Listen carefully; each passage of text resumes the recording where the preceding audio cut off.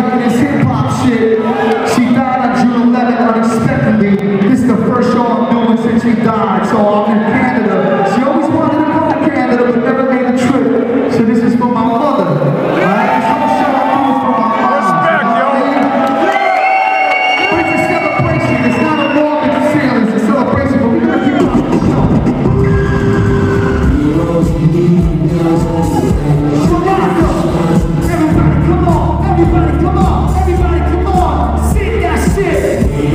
Everybody, come on. Everybody, come on. Everybody, come on. Sing that shit.